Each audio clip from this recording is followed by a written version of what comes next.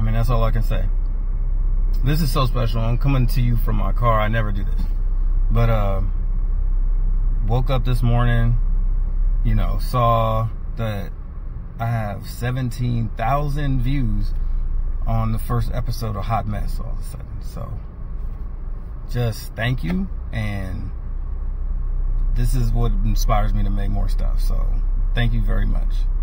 Just wanted to say that to everybody who checked it out. Go check it out. Come join the channel. But just thank y'all. Just thank y'all.